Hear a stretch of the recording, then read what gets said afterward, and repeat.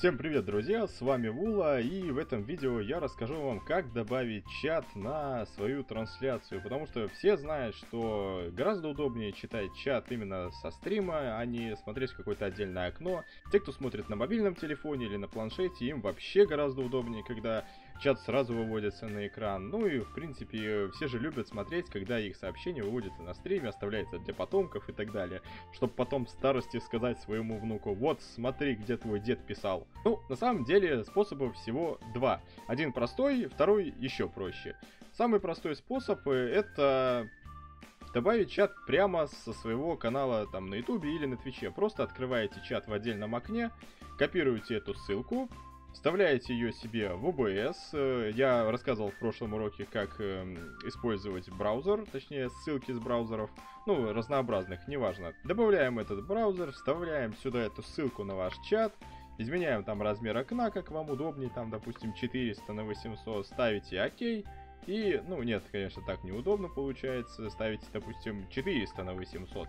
Вам же вертикальный чатик нужен. Вот, пожалуйста, вот ваш чатик поставили, там, написали, к примеру, сообщение на своем ютубе, что-нибудь там, тест, пожалуйста. Ну, ладно, на английском, хорошо, давайте на русском еще напишем. Вот, пожалуйста. И вот они выводятся на ваш стрим в OBS. Ну, разумеется, вот эта вот ерунда некрасиво смотрится, она, ну, вообще не серьезно смотрится. Для того, чтобы сделать его гораздо привлекательнее, существуют так называемые CSS настройки. Программисты, конечно же, в курсе, что это такое, так как я не программист, я скажу своим языком. Э, эти CSS настройки просто разнообразными кодами изменяют шрифт, текст, размер и отображение вашего текста на стриме.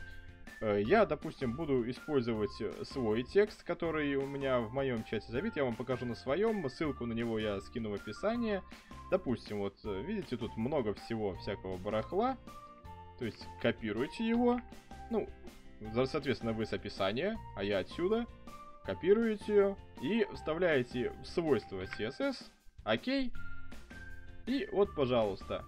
Теперь у вас выглядит совсем по-другому. Давайте-ка напишем несколько сообщений там. Хлоп. И вот, пожалуйста, пошли сообщения, и вот так вот они красиво выглядят. Давайте добавим какую-нибудь картинку, чтобы, ну, смотрелось как-то поинтереснее изображение, добавим какую-нибудь красивую картинку, у меня тут где-нибудь, надеюсь, найдется что-нибудь такое более интересное. Да, хорошая картинка, очень хорошая картинка, давайте добавим ее. То есть, и вот, пожалуйста, нет, мне не это нужно выбрать. Да нет, не это же. Вот, вот так вот. И вот вот так вот красиво будет. И дальше вы можете уже подстраивать, там, менять размер, допустим, если слишком мелкие, можете сделать его поменьше, допустим, сделать там 600 на 300. И тогда как бы шрифт увеличится. Ну, как увеличится? Само окно уменьшится, но вы при этом сможете увеличить размер окна. То есть вот таким простым способом можно добавить э, чат на стрим. Разумеется, мои настройки CSS не идеал, и если вы хотите сделать что-то свое, то можете воспользоваться вот таким вот сайтом, ссылочку на него я оставлю в описании, и здесь вы можете создать свои CSS настройки, вот здесь вот они будут генерироваться рандомно в прямом эфире, и вот справа вы можете смотреть, что именно меняется. Допустим, захотели убрать окантовку текста, сняли галочку, убрали, захотели поменять цвет ее, Захотели увеличить там размер аватаров, допустим, ну, чтобы понимали. И все что угодно. Цвет, шрифт, цвет там э, главных, э, цвет модераторов, цвет обычных э, людей, ну, простых смертных, цвет сообщений и так далее. Потом просто копируете все, что вам сгенерирует этот сайт, и вставляете так же самое в CSS. Ничего сложного. Второй способ это добавить чат через стороннее приложение. Давайте отключим этот чатик. К примеру, таким хорошим сторонним приложением будет являться Restream чат. Э, есть такой сайт, называется Restream.io. Он вообще существует для того, чтобы одновременно транслировать э, трансляции, да, тавтология опять, э, с разных платформ одновременно. И вот у него встроен свой чат есть. То есть регистрируетесь на сайте, переходите в окно чата, качаете себе его и получаете вот такое вот простенькое приложение. То есть ничего интересного. Вот у меня уже тут начали писаться сообщения, все дела. Плюс его в том, что оно может э, высвечиваться по верх игры. То есть заходите, к примеру, в настройки, ставите вот эту вот галочку Windows Always on Top. То есть и этот чат будет все время находиться поверх вашей игры. Если вы не хотите, соответственно, просто снимаете галочку и сможете что-то другое пускать поверху. Но дело не в этом. Вернемся обратно к настройкам и попробуем добавить его себе на стрим. Ничего сложного нет.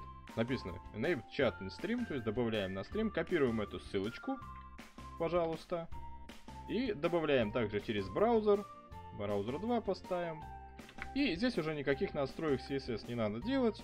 Просто, опять же, меняете там размер, к примеру, там 300 на, на 600 на те же. И жмете ОК. Вот, пожалуйста. Теперь у вас есть чатик второго варианта. Давайте сейчас увеличим его немного. К примеру, опять еще напишем парочку сообщений на ютубе. Лоп. И вот, пожалуйста, начинает приходить сообщение. Выглядят они вот таким вот образом, но есть и другие настройки. У него два вида отображения. Для того, чтобы посмотреть, как это выглядит, можете прямо вот здесь менять поверх. И, пожалуйста, допустим, сделать, э, ну, как бы вариантов тут только два, немного. Либо боксами, такими вот, либо компактным режимом. Ну, компактный режим, разумеется, гораздо приятнее и выглядит, и читается. Боксовский, конечно, тоже классный, но он занимает очень много места. Для того, чтобы сделать сообщения более в рамочках каких-то, есть дополнительные вот тут э, ползунки. То есть вы можете увеличить э, прозрачность самих рамок или уменьшить. То есть они ну, будут э, более выделены, именно сами сообщения. Э, можно, конечно, сделать полностью окно закрыто. Ну, нам так и не надо, нам нужна прозрачность. Разумеется, время, с которым будет появляться и исчезать сообщение, точнее не появляться и исчезать, а сколько времени нужно будет для того, чтобы сообщение исчезло. Ну, обычно там 40 секунд, я думаю, всем хватит прочитать. Ну и, разумеется, размер сообщений. Так, сообщения убрались, давайте еще напишем парочку сообщений. Чтобы добавилось. И вот, допустим, размер сообщения можете также поменять здесь. Вот, пожалуйста, начали приходить. Вот размер этих окошек, что угодно можете менять здесь. Ну, как я говорю, лучше использовать компактный режим, он гораздо удобнее. И э, вот эта функция отвечает за то, где будут появляться сообщения, снизу или сверху. Э, плюс э, второе именно приложение, потому что он может одновременно захватывать чаты и с других платформ. То есть, к примеру, с Твича того же. Возьмем сейчас вот Twitch, откроем, напишем здесь парочку сообщений. И перейдем в наш OBS. И, как видите, пришло сообщение с Твича. То есть одновременно. Это очень удобно. И когда вы стримите на множество платформ, все люди будут видеть, кто, откуда, что пишет. Ну, конечно, если вы используете одну платформу, то пользуйтесь более простым способом. Кстати, вернемся к тому вопросу, о котором я говорил, точнее не вопросу, а тому совету, о котором я говорил, что можно использовать его поверх игры. То есть, да, вот такое окошко у вас будет поверх игры. У него есть э, вторая функция, это прозрачность. Когда вы ее включаете, то нижними двумя ползунками, вот этими, вы можете изменять прозрачность этих сообщений. Таким образом, у вас в игре они не будут занимать очень много места, вот такое окно не будет стоять, а будет все прозрачно. Но, есть одно большое но. Будет очень сильно жрать ресурсы компьютера, то есть оптимизация, ну, скажем так, у этого приложения отстойнейшая, и FPS, наверное, в играх у вас просядет, ну, раза в два. Но если же вы используете какой-то второй монитор или там второй компьютер, разумеется, вам это не надо использовать, и жрать систему она не будет. Но, ребят, еще помните, если вы закроете это приложение, то, ну, полностью, то как бы вы ни писали, кто, кто бы вам ни писал, сообщения к вам на трансляцию не придут. То есть когда вы начинаете стримить, на вашем компьютере, с которого вы стримите, должно быть запущено это приложение. Если оно запущено не будет, сообщения приходить в OBS не будут. Так что на этом все. Надеюсь, это видео было вам полезным. Подписывайтесь на канал, чтобы не пропускать новые видео, чтобы не пропускать стримы. А для того, чтобы их не пропускать, ставьте себе колокольчик, ребят. И играйте только в хорошие игры. Всем удачи, всем пока.